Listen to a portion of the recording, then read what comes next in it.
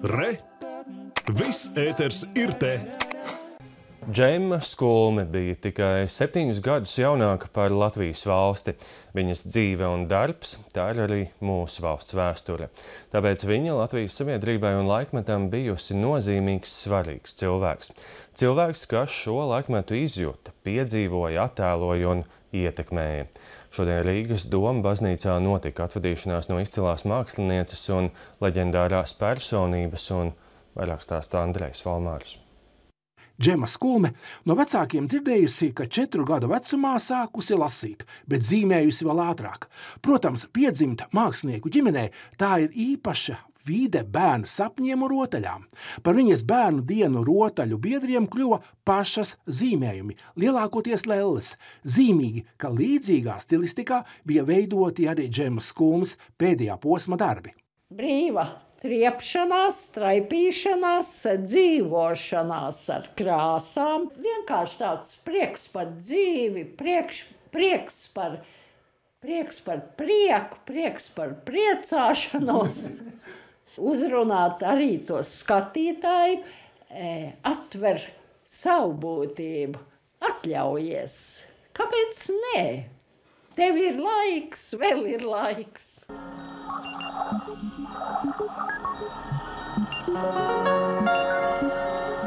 Es esmu tagad eh, vecumā atbrīvojusies no visas, eh, no tādas piesardzības, no, no, tu, pa, no tā, ko publika par to domās, ko cilvēki teiks. Tas man ir jau pilnīgi vienalga. Tā kā, nu, ļoti labi, ļoti labi. Džema Skulme ir aizgājusī paudze Latvijas sabiedriskajā dzīvē un mākslā. Viņa augusi blakus latviešu mākslas avangardas sākumam, gleznojusi nodevas režīmam mākslas gaitu sākumā.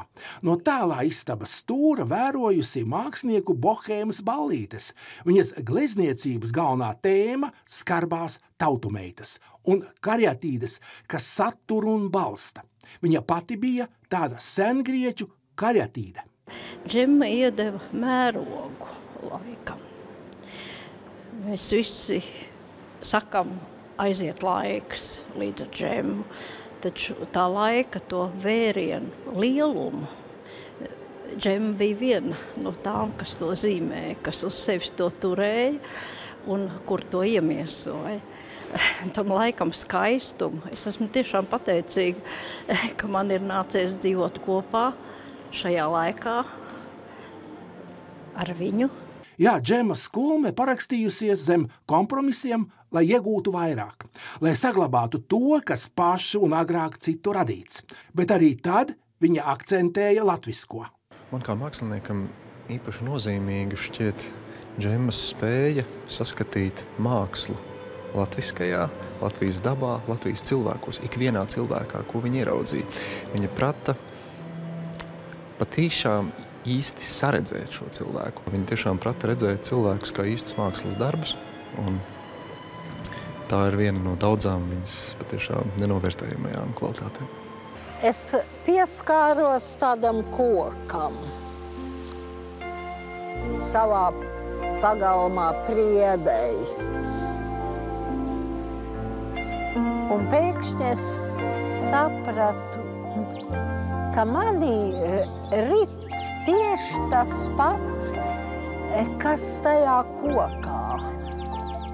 Un viss tas mans smagums ir tas pats, kas viņam ir tas smagums. Tā bija priekš manis atklāsme.